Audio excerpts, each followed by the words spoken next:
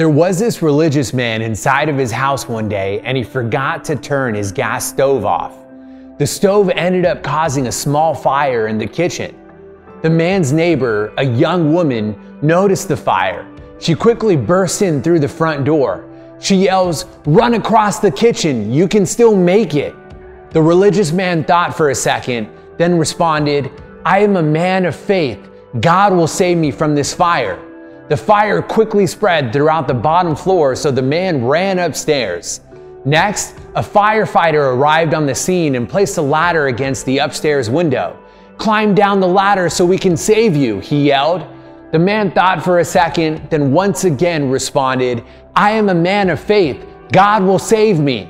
The fire continued to spread through the second floor of the house, so the man climbs on top of the roof. An emergency helicopter flies over the man and drops a rope. The pilot yells, Grab onto the rope, I will save you.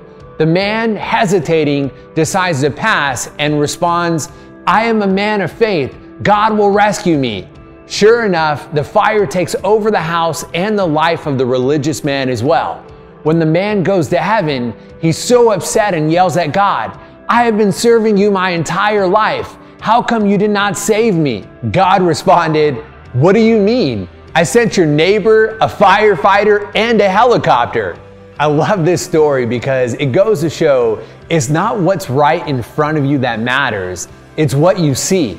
Many times in life, we're praying for certain opportunities to come our way, and then when they don't, we get disappointed.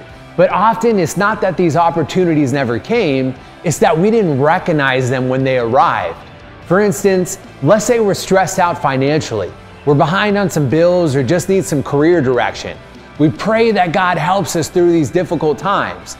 That doesn't mean God is going to send a bag of money to your doorstep or a deposit is magically going to appear in your bank account. It may be that someone is sent into our lives that can lead us in the right direction, or we come across a book that will teach us all the necessary skills we need to learn. Or we're scrolling through Facebook and happen to see an upcoming seminar that would lead us down the right path. All these things could be right in front of us, just like the religious man had his neighbor, the fireman, and the helicopter. But because they're not exactly what we're looking for, we often miss them. And then later, we complain that no one ever helped us. So if there's ever anything that you're praying for or want bad enough, remember, opportunities are all around us. It's not what's in front of you that matters, it's what you see.